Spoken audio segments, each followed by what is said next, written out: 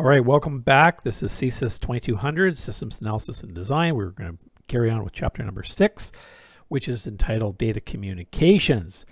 And this chapter is a very important, like all the other ones, because it really kind of instills uh, the concepts behind how data is transferred from one location to another, which is what we do all the time when we're on the internet, when we use cell phones, when we use any managing information system. So very important to understand the terminology and the concepts in this course. We're going to carry on and we're going to talk about some of the applications of data communication systems and what that involved, components and different parts of the data communication system. We'll look at types of processing configuration. We'll look at topologies, some of the concepts like bandwidth, uh, understanding clearly the relationship between a client server model uh, wireless and wireless security. We've talked a bit about wireless security in the security chapter, but we'll talk a little bit more about that as it pertains to data communications. The electronic transfer of data from one location to another. How does data transmit? Specifically, with the managing information system, how does the information get delivered and how does that information get delivered um, to the right people at the right time, that type of thing improve the flexibility of data communica- uh, collection and transmission, and so on. I'll let you guys read through this. There's quite a few uh, objectives that we're going to talk about in data communications. Um, e-collaboration, uh, which we've been doing a lot with, with uh, a lot of this lockdown and, and working from home now, virtual organizations. Uh, what does that mean? What's the difference between virtual and brick and mortar? All right, we'll, we'll carry on We'll look at some examples, even like how websites send their information, how do you request information, and understanding that at a basic understanding. How do emails transfer? How is it asynchronous compared to synchronous uh, file transfers? Lots of, of concepts here in this particular chapter. Um, we'll look at some online training examples, which we most of you probably um, have seen lots of this as we're doing a lot of this uh, right now in Douglas. Uh, how do internet searches work? Um, and the list goes on and on. So you guys are sitting there probably on your computer right now and you're using all sorts of applications and every pretty, pretty much every single one of these applications relies on some kind of data communications connecting you to some server out there so you are essentially a client uh, accessing all these different types of systems out there whether it's configuring, whether it's some kind of a geographical mapping program, whether it's some kind of more information. Oh, there's the mapping. Your email. I'm not sure this is a basket, uh, if that's for food shopping and this is for consumers, your banking, etc. You guys know what we're talking about. We're using all these different inter communications. How does it work? You guys know how to use these systems, but it's important for students to understand a basic level of how data is actually transferred between these different systems. We are doing a lot more work at home. We're not going into school or into the office as much. So this is even more important nowadays to understand clearly how does data transfer. I mean, we can just say, well, we can ignore it and it doesn't work. But if we understand a bit more, we can help uh, become more efficient at the data. We can secure the data uh, and make it maybe even make it faster. You guys have probably been on a lot of uh, video calls, either using Zoom or Teams or Skype for Business. There's a lot of these different uh, conferencing tools out there. How is the data transferred compared to a file transfer? And there are differences between these, and how do you set these up? All right, well, one of the first concepts that we need to know is bandwidth. Bandwidth, you guys hear this term all the time. If I asked you what your bandwidth is right now uh, with your internet service provider, with your internet, could you tell me? Uh, maybe you can, maybe you can't. Uh, but bandwidth can be delivered in different uh, levels or a different amount of volume. And the metaphor here is you can have low bandwidth, which is like using a garden hose. You can only get so much water out of a garden hose, with where you can get a large bandwidth or high bandwidth, which you could use like a fire hose and just get a tremendous amount of volume of data coming back and forth. So the the, con- the metaphor here is that you know you are controlling the hose, and then whatever you're spraying uh, or connecting to uh, is the is the server, so the client and the server relationship, and it's the bandwidth. So very important. Uh, if you go into the Wikipedia site, it explains again further what bandwidth is. And what I would suggest that you guys do is you do a speed test. So just go to your browser, type in speed test, and click on run the speed test. And this will tell you what your current bandwidth is on your uh, internet service provider. So my particular provider provides me at 20 to 25 megabits. Uh, they kind of sell it to me. I think believe they sell it to me at 20. My upload's a lot faster, so I can transmit data to somebody a lot faster than I can receive the data. So there's what they call the upload and the download, and they are two different speeds. Now, if I test this again, uh, I could get different numbers each time I do this. And the reason because there's uh, when you're on the net and you're trying to connect, there are, you know, there's other traffic out there. There's more people out there surfing at, at, that particular moment in time, and it could come back with slightly different results. So you can do this on your cell phone. You can do this on your internet service provider. And one th thing I'd suggest to students to check out is whatever they're selling you, that you should get that. So for example, I'm paying for a 20 megabit service because I think that's all I really need. I'm not a real big gamer or movie watcher. Uh, and even 20 uh, megabits per second is extremely fast. But you can up that, and I think with you know 5G, this goes up to 100 to, to 200 megabits uh, per second. So that would be one thing I would consider doing for your uh, bandwidth. So bandwidth is measured in different measurements. So this is an important term because people will ask you from time to time, what is your bandwidth or what is your data rate? Uh, because when you're communicating with a managing information system, you may have to transmit your information or your raw data to another system. And that's very important because we're talking about time. So these are key uh, numbers that you're gonna you should know and you probably get quizzed on. The K is for kilobytes, uh, so kilobits per second. So it's a bit of information per second. A million bits per second, a billion bits per second, or gigabit, or a terabyte, which is a trillion bits per second, uh, are all how much. if you think about that, that means that's a thousand on-off switches every second that's being transmitted. Or if you get a terabyte, that's a trillion on-off signals or bits of information that is transmitted per second. So incredible amount of speed there. The next term is uh, attenuation, and this is a uh, it's kind of a fun term. A lot of people don't really think of this. They just they a lot of people think how many bars do you have? What's your uh, your signal strength?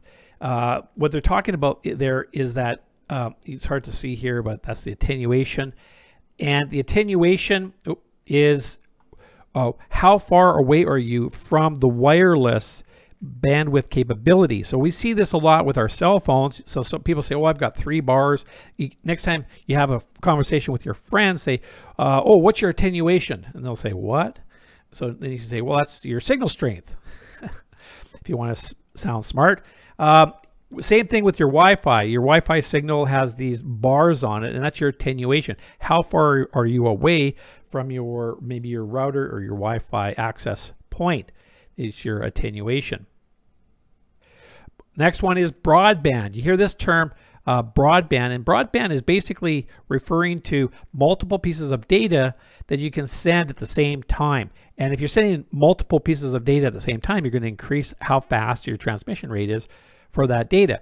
So you'll see that with um, um, RJ45 connectors, when you're using a twisted pair, uh, you get multiple uh, wires inside. So you, usually if you use TELUS, TELUS uses this, although TELUS has been moving over to a fiber optic, which has multiple lines, and they can pump multiple data through those lines and, and increase how much data you're getting and get a wider or broader band of, of data coming in, hence the name uh, broadband um, data. So a lot of times they'll they'll even sell you the internet service providers will say, "Hey, would you like to upgrade to your broadband?" Which could be a fiber optic broadband. It could be also a twisted pair. These are the different technologies that you can use with broadband. So you see the coaxial cables, the old telephone cable that you might remember. Uh, fiber optic is, of course, glass fibers, like hair-like fibers that can transmit multiple lines of data in. Then there's different uh, frequencies like your your Wi-Fi. Your Wi-Fi is using um, a, a, hertz, usually a 300 to 300 hertz uh, radio transmission, short short range uh, to transmit that on multiple lines. They could have 30 to 50 hertz, or twisted pair. Twisted pair uh, is um, is your old telephone connectors. The RJ11 ports is the phone, and RJ45 is the uh, internet or the um, the, the the local area network connectors. All right. Now they do have narrowband. This could be a term that you guys could end up um, reading a bit about. Narrowband is used for kind of specialized um, things where you don't want to have a broad base because it's very specialized. You'll see this with these uh, uh, personal, uh, they used to call these walkie-talkies or uh, personal um, radios, and they use a very narrow band. So if you ever bought these, you can actually switch these over to a very specific band, and anybody within range can actually hear on that band.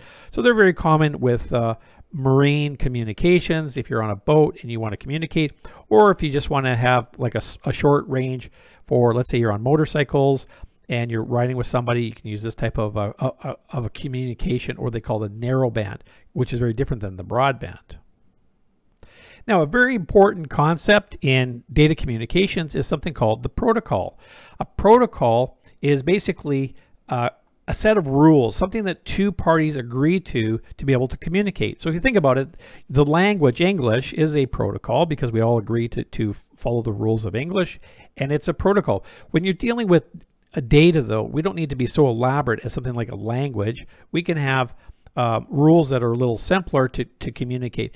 But we do need rules. So we need rules around error detection. So what are some of the main components of a, a computer protocol? Is error detection. Means that if data is sent from one person to another person, there must be some kind of protocol in place that will check for errors, so making sure that the data that's being sent is actually received because there could be a corruption in the line. There could be some kind of degradation and you may not get it. Another rule to the protocol could be how long of a message do you want to send. When you're talking to someone, you think about it in an English conversation, usually we talk, we let someone else to talk. You know, the other person talks, the other person talks. In a lecture situation like here, uh, you know, unfortunately the instructor gets to, to, to talk the whole time. But that's the protocol of a lecture. But if you're having casual conversation, the message length could be that you talk, the other person talks, and you try to have a relatively balanced amount. With computers, it's it's very precise. It's down to the bit. So they have a message length is a type of pro, um, one of the components or rules of the protocol. Transmission speed, how fast you want to transmit. Well, we kind of have, um, depending on the technology that you're using to transmit, the transmission speed would be defined inside of the protocol. Now, what are some examples of protocols? Now, you'll see, probably recognize some of these. There's a whole list of protocols. These are agreed upon rules. So you might have seen this one, Post Office Protocol 3, or this IMAP. This is another mail uh, protocol. All right, sorry, I got interrupted with my phone there. Um, so we were talking about the protocols, and we left off with this uh, this is a mail protocol. I forgot the, the acronym what it stands for, but it's a uh, it's more of a robust email protocol. Rules of transmitting emails. Most servers nowadays, email servers follow an IMAP server. Uh, there's this one here called the Simple Mail Transfer Protocol. This is a, a, a protocol for servers that basically send out emails only. They don't receive. It's Simple Mail Transfer Protocol. This one here, you guys should recognize this. This is probably the most important uh, protocol of communications that we have on the planet. It's called Hypertext Transfer Protocol. This is very important to remember this one because most of our web surfing uh, occurs here. Uh, Timothy Berner Lee is the guy that came up with this and he was a, a, researcher at the CERN Research Center, and they back in the I think 70s, and they wanted to come up with a protocol method of being able to route data or simple hypertext in a hyper method to be able to transmit data from one computer to another computer. And that was, this is the protocol that changed, really changed the world. And from there, uh, we've also have the HTTPS, which is the Hypertext Transfer Protocol Secure, which is incorporating this protocol. This is a secure socket layer protocol. So when you guys are surfing the web, and I think I mentioned this before in other uh, videos, in the top corner here, uh, when you type in your account, you can type in HTTPS, for example. I just I was just at this website here, and then I go forward slash, and then I type in a, a website like CN Douglas College, and what that does is it creates a secure data connection, and you can see right here that it was um, we we've got it secured by a company here called DigiCert, uh, is the name of the company that actually. Uh, sets the rules of the hypertext transfer protocol. So very important uh, concept because you use this every single day and you should understand what it is. And if you're working for a company using a managing information system and transferring their information and their data, you have to make sure it is secured. So you would never transmit data in just a regular HTTP protocol because it doesn't have the security level. Now there's some older protocols like uh, Telnet, FTP, File Transfer Protocol, or Transfer Component Protocol for Internet Protocol. This protocol right here for Internet Protocol is a routing protocol on how to route your data. So there's a lot of protocols. I put a link here in from Wikipedia. And when it opens up here, it shows you all the different protocols, I believe. Well, that's not it right there. Let me just uh, find it. Oh, that was it. I had put in a link here of different protocols. So there's the internet protocol. These are some terms that you guys should know and you will be tested on. File transfer protocol, because sometimes you're transferring files and what are the pros and cons, a little bit of the, the history of that. There's the secured socket uh, shell or the secured shell. There's a secured socket layer. This is an extra data layer. Uh, telnetting, simple uh, mail transfer protocol. There it is, Post Office Protocol version 3. Internet Messaging Access Protocol. I always have to remember that one. Uh, and of course, the number one protocol right here, Hypertext Transfer Protocol.